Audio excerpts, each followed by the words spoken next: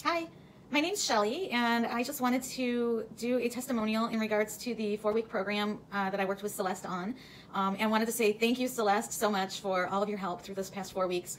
Um, I can't even express in words how valuable this has been to me in terms of uh, learning a lot about myself um, as well as a lot about my eating practices and behaviors. Um, and so for me, I started when I started with Celeste and learned about Celeste and her programs that she had out there, um, I was about two weeks post competition um, for a bikini competition at Masters Nationals in Pittsburgh. Um, when I got back from that, I kind of reverted into old eating habits. Um, sugar is huge for me. It's very much an addiction. Um, and I have this, I had this practice and I'm still working on it of um, binging on things that I really love, like nut butters or seed butters um, are huge. And then it would lead right into uh, kind of searching through the entire house, trying to find anything sugary, anything that tasted yummy. Um, and I would go beyond my comfort levels um, and just go crazy with the food until I would go to bed uh, with a terribly upset stomach, um, uncomfortable, just miserable. Um, and then I would find that I would enter this vicious cycle of being 100% completely on par with my diet, my exercise, um, to giving in to these cravings that I was having, um, giving into these binges. I would suddenly develop this, well, screw it kind of attitude because I've already screwed up this bad. I might just well finish it off. And I would go through the whole kitchen. I would hide in the garage and eat some food and then run back into the house so that nobody would notice that I was gone. My pantry wasn't safe. My cupboards weren't safe. Nothing was safe.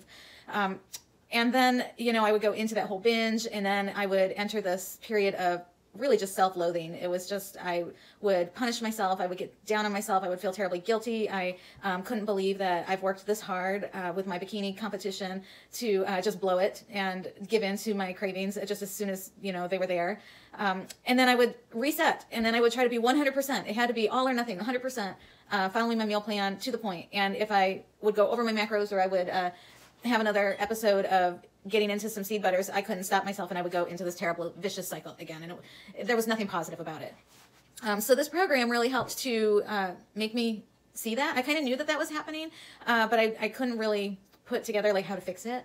Um, and so this program makes you look at more than just food. It really makes you look internally. It makes you take a, a step back and realize um, that you are worth uh, more than that hate that you give yourself after you mess up with your food.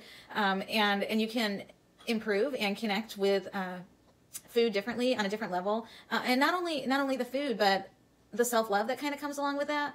Um, you don't have to have that 100% all or nothing mentality. And if you um, do kind of go off track just a little bit, it's acknowledging that. It's it's looking at your goals and your values. It's connecting all of that stuff together and understanding that. Okay, so I did that, acknowledging it, moving on. Uh, next time, I'm going to look at this differently, and I'm going to put some rituals around the way that I eat, the way that I prepare, um, and and taking that step back when you feel those urges and those cravings, and really kind of giving some thought and and looking at how you, how my actions are going to align with my goals. Do they or don't they? Um, is it going to sabotage everything that I've been working for? Um, yeah, a binge might, but a bite might not. And and learning to uh, have that feeling of being okay with having a bite and and then listening to your body. I think that's my biggest thing is I would I would eat and eat and eat and I wouldn't listen to my body. My body would be telling me you've had enough. Uh, I feel miserable. Your my stomach would be bloated. I would be out of control, um, and I wouldn't listen. I would just keep on eating. Um, and so now just to kind of be able to even have those small wins uh, because those small wins lead into big wins. Um, one night i just was able to eat undistracted and put the ice cream back away. I put it back in the freezer. Um, and i was okay right? But it would have been that i would have eaten the entire thing no matter how uncomfortable i was previously. So um, now, because of the program, I am able to put some rituals around the food that I eat, around my practices. I am really working hard to uh, eat undistracted, um, to really uh, slow my eating so that my body has time to digest and give signals to my brain that says, okay, you've had enough. And then listening to those signals.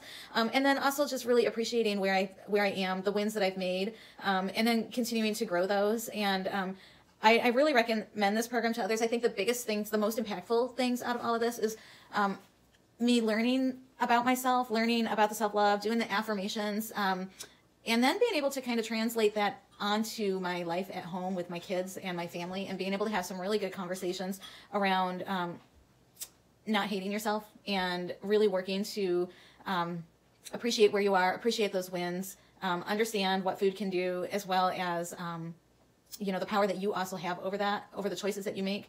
Um, it's it's really been impactful for me and also for my children. And so um, Celeste has been amazing helping to change that mindset for me, uh, making those flips. Um, sometimes we get into those tracks where we just think negatively and we have to sometimes hear from somebody else that it's okay.